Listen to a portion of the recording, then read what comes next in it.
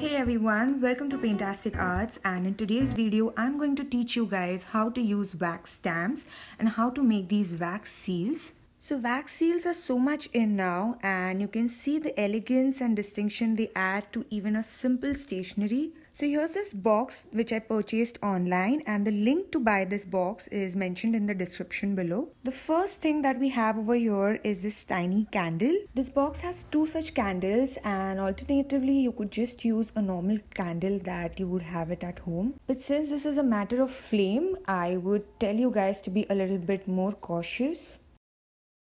The next thing over here is this metal spoon. It is quite thick enough although it appears little tiny and we would be using this for melting the wax.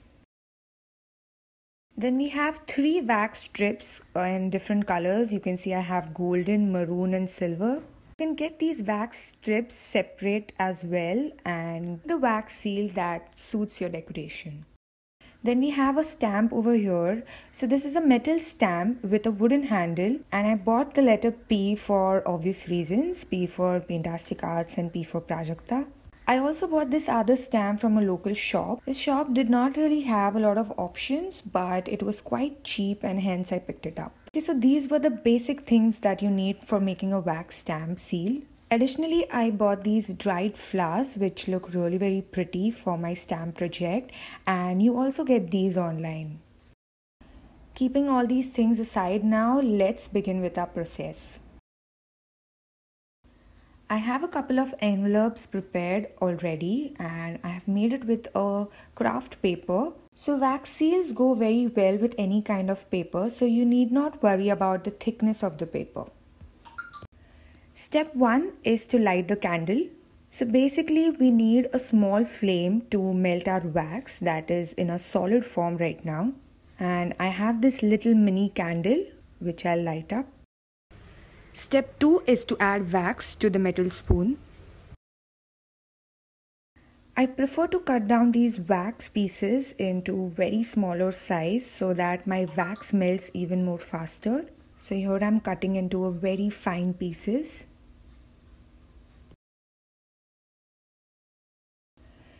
Step 3 is to melt the wax by heating it on the flame. And you need to have some patience because this is going to take about a minute or two. And now you can see it's completely turned into a liquid form.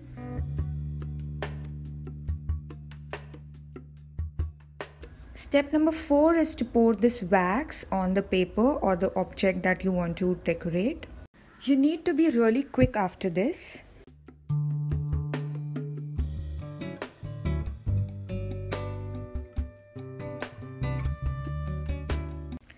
And step 5, that's the last step, which is press the liquid wax with the help of this metal stamp. You need to keep it for minimum 10 seconds so that it's completely cooled down. And due to the metal properties of the stamp, the, the wax doesn't really get stuck on the stamp but just the paper. And here it is ready. It's quite easy to use but it could be a little tough for the very first time users.